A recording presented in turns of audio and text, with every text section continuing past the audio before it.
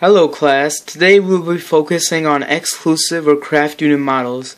To begin, you simply draw the supply curve and the demand curve. In the craft union or exclusive model, unions will boost the wage rate by restricting the supply of labor to the market. This is usually done by lobbying the government for restriction to labor by restricting immigration, reducing child labor, compulsory retirement, shorter work week, etc. In the end result will be the supply will go shift to the left because it has been reduced. This will be your new supply curve.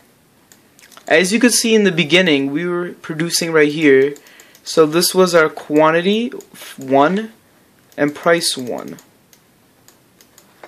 As you see now with the new supply curve, the quantity in the market has gone down has gone down and the price has gone up.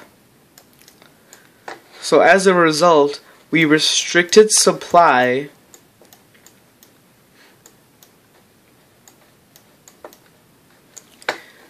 decrease the quantity of labor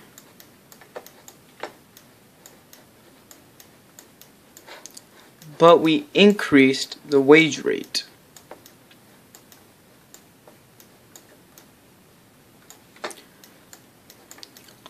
Another place where this type of union is common is when there's a job that requires licensing, such as doctors, lawyers, teachers. Licensing forces uni- unions force the government to require licensing to enter the occupation. So if workers can't meet the requirements, they can't join the industry, which as a result restricts the supply as well. Well, this was exclusive and craft union model. I hope that was helpful.